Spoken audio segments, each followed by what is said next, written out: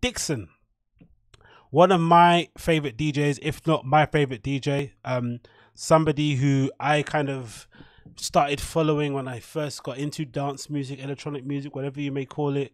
One of my kind of first DJ heroes alongside with Ricardo Villalobos, uh, DJ Harvey, Jeff Mills, um the first people that I kind of saw right online, like wow, these guys are amazing. These guys play the kind of stuff that I'd want to play. They have a certain sort of type of style.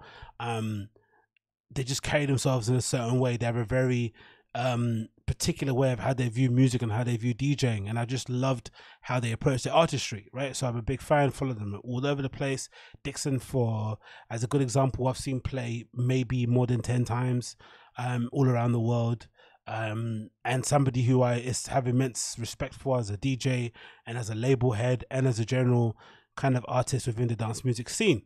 So we have this issue going on at the moment where we have these things called plague raves that they've been dubbed by the techno Twitter lot, which is essentially high flying DJs, DJs who probably can afford to stay at home, deciding to go play in far flung places where they've decided to preemptively um, open up the economy, open up certain sectors of the economy in order to allow tourism to flood back so that they could um, support their local economy. So these are places such as Switzerland who've kind of dealt with COVID pretty well.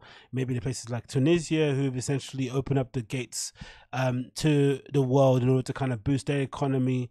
Um, maybe it's prematurely, but they did it regardless. Places like Paris, uh, places in Germany now at the moment. There's a couple of raves happening in Berlin, such as open air events. But there's a few places in Europe where these plague raves are kind to pop up, and a lot of the big high flying DJs who probably can get away with, you know, not having a steady income for the past, you know, for six or seven months are deciding to go and play at. And they're also kind of drawing a lot of criticism online because people who attend these parties aren't keeping the distance. There's not a lot of face coverings. It doesn't necessarily seem like a place where you can have good practices, right? I think that's the main reason why clubs and nightclubs and bars and stuff were closed and gyms and stuff and whatnot were told to halt, especially when COVID was spreading, because we realized that the place where it spreads the most is in, in, in confined spaces, and there's no way that you can run a place like a nightclub with COVID in mind and ask your punters to keep their distance, because you know once alcohol gets in your system, a bit of drinking, a bit of drugs, whatever you're doing when you're going out, you're definitely not going to be able to resist the urge to get close to people. It's just not going to happen. So um that's what's been happening, and it's it's a sad state of affairs because I think in the beginning of COVID, I I was under this really um, naive um, impression that we would kind of COVID would would cause a reset in the dance music community scene. Would be at a point where there would be less onus on big glitzy high ticket number um you know selling artists and stuff or you know the top 10 20 voted djs on ra list would essentially be dispersed around the global community so they're not all playing at the same places at the same time. Um obviously domestic promoters would have to rely on their own contact book domestically of artists that they can book because they couldn't get other people to travel and um, because res- travel restrictions will still be in place. That's, that's what we assumed right? We thought that was going to be the case.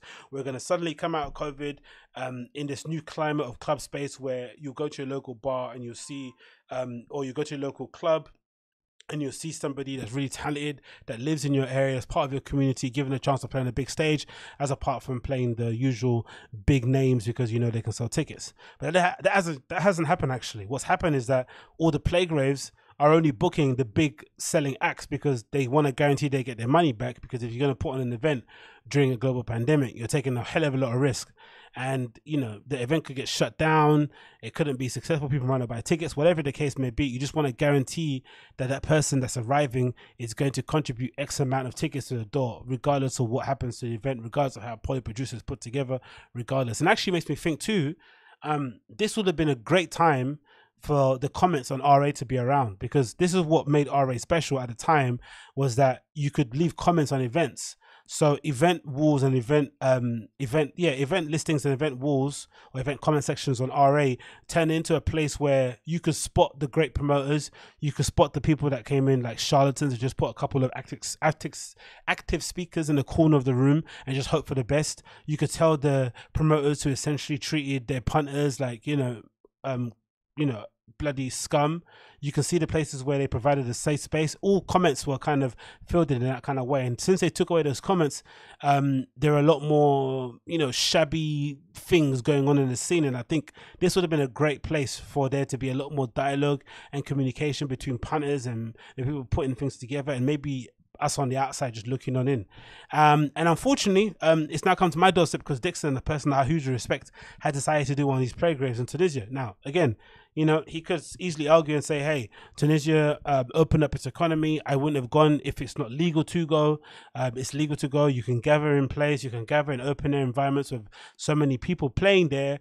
But I guess the issue is that, you know, it just sets a bad precedent. I think somebody of his stature doesn't need to play at this event. I think you don't need to leave your home to go and see. Don't get me wrong, Dixon's not Nina Kraviz, right?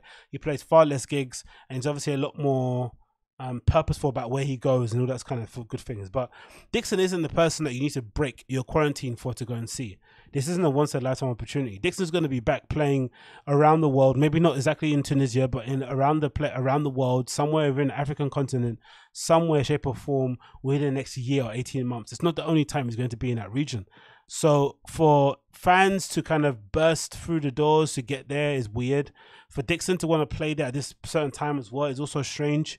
It also it makes you think maybe these DJs at this level don't get paid as much as you think they get paid, or if they do get paid that much, the money's still you know money's relative, I guess, at that extent, right? I guess if you're a DJ who's been playing at that level as a Dixon, twenty plus years, twenty plus years in a game, playing at a ridiculously high level at all the best places with some of the best promoters, putting on some of the most memorable nights. You ex- you kind of live on that budget, right? So I'd assume if your finances have taken a hit for the last six or seven months, there's going to come a point where you need to go and make some money. You need to go put food on the table. You need to be able to put your kids through school, um, provide for your family. You need to go and do that. So I, I get the rock in a hard place, but I don't know, man. There's just something about traveling all that way to Tunisia to go put an event that just doesn't really sit right for me. And the other part of it, which I mentioned before to somebody else, was that it's just why is it that the dance music scene feels the need or they feel like they have the right to put on events when no other industry is doing so. You don't, or no other genre in music, even right. There's no hip hop events. There's no gigs there. There's no gigs in the indie music scene. Nothing really happening in EDM. Um, there might be some illegal raves here and there, some Chainsmoker events, but for the most part, they're keeping their head under um, they're keeping um, out of the spotlight and maybe doing some stuff on Twitch and stuff. But there's no other genre that exists outside of the dance music scene that feels the need to put on events and have to DJ. And some of the DJs too, unfortunately, unfairly, I'd say, from my point of view, because I don't think it's fair to count people's pockets or tell them what they should do with their career. But if you're unable to play gigs and you need to pay for your rent, you should just go get a normal job. Like you really should. Obviously, it's going to be difficult if you've been DJing since you're 13. You've got no real life experiences, but you're going to have to get a normal job one way or the other. There's no way you can be able to play enough gigs anyway under this current conditions to afford you yeah to afford your lifestyle it's just going to be not possible right especially if you're at the entry level stage right you're getting paid what a grand to 10 grand per set it's not going to be enough anyway right that money's going to go instantly um, so I guess for Dixon again, it's a concern because I think at his level, I think I read somewhere that Maceo Plex or something along those lines, who I'd maybe say has the same sort of booking fee as a Dixon, gets paid anywhere between ten thousand to thirty thousand per gig, and five grand I heard for after parties. If that's true, like, why is Dixon playing in Tunisia? And again, not counting his pockets. It's not my business, right? To count people's pockets, not say what they're doing their money, but it's really strange. And anyway, this is a video here from Business Test, Business Testno, uh, or Business Techno on Twitter that kind of you know goes out of their way to shine a light on some of our more questionable figures within the dance music scene. They put together a little video. I guess they found on Instagram a compilation of uh, Dixon playing on August the 13th, and I'm going to play the first one for you now. Um,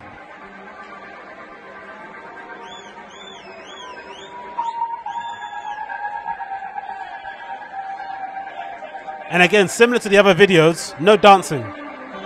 Fair enough, it's a breakdown, but you know.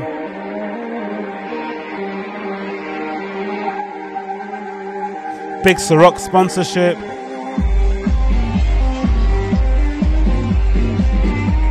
So good.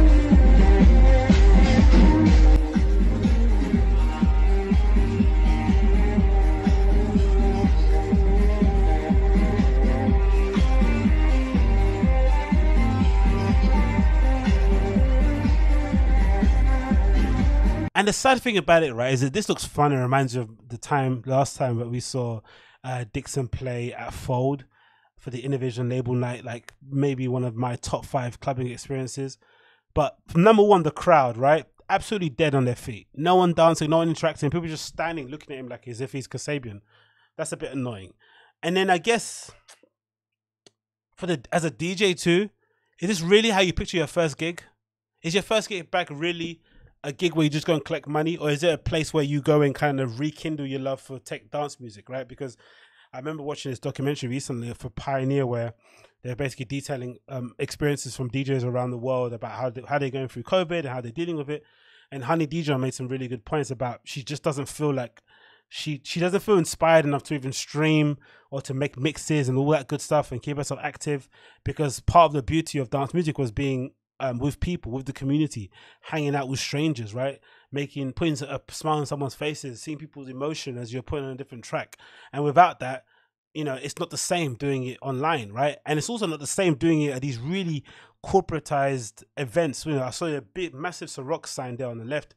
Obviously, um, again, I don't, I don't blame the Tunisian promoters. I guess if you put an event on like this, you need to make sure you get your money back. But is this really how you picture your first gig back?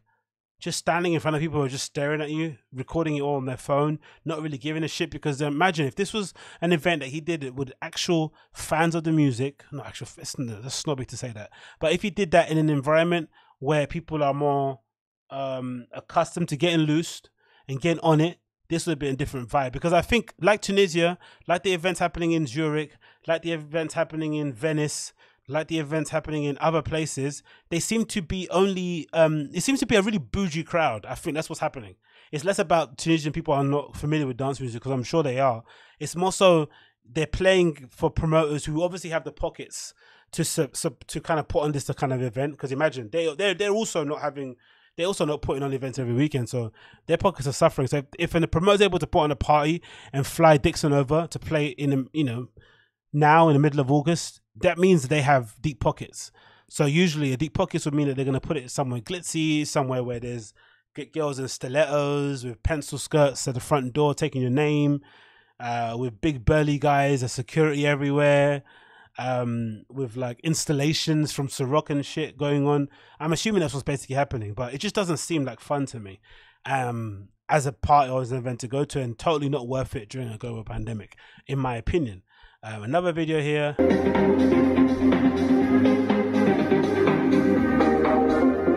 Like, look, legitimately, look at the lack of dancing. Like, these guys aren't dancing. Like, this is honestly so bizarre. Same like we saw the crowds in Italy with Nina Kraviz The same with this. And again, the Italy one is weird because I think if you look at the Kappa, is it Kappa Futures? That's probably the best dancing thing I've seen, or maybe the crowd at DC10 that's a bit mixed.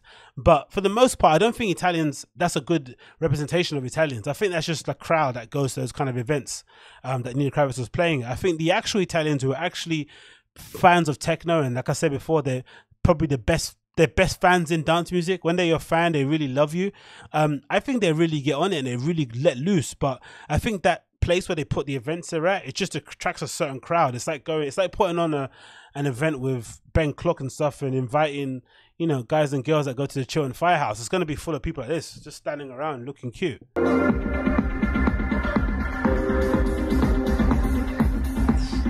Like, how can he not be dancing to that?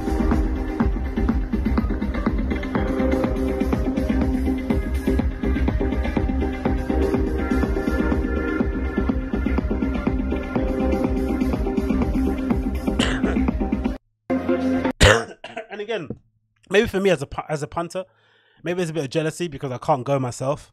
I know for DJs, there must be a hint of jealousy. There has to be some of the people that get annoyed online because you would have hoped, especially if you was a middle tier DJ, like you know someone that plays on one of those dead online radio shows, right? Um, and you play in a couple bars here and there. It might be annoying that you don't have the opportunity to play in these kind of places because you feel as if this should be your opportunity to do so, and instead they're flying around these high flying people who could probably do without. And again, doing it as well is a big assumption. You don't know what people are doing with their funds. You don't know how people live their lives. Um, I'm a big believer in you know the more you earn, the more your daily. I'm a big yeah. I believe that most people do that right, where they if they earn more, their daily expenses tend to go up too. So I'm sure you know ten grand per gig, thirty grand per gig doesn't really you know make a dent that much because you know you are you know spending a lot on your shirts if you're Dixon. Uh, you're putting your kids through probably you know you you've got your kids in a good school because you can afford to. You drive a pretty decent car, maybe a couple. You're maybe supporting your partner who doesn't work or works with you. There's a lot goes into that. So I'm sure that money doesn't really go as far as they want it to go. Hence the other projects they do. But I'm sure if you're a middle tier DJ, you should be really pissed off if you're seeing this. It should be really annoying. And then the last slide, I guess, is an indication on how the situation's has changed.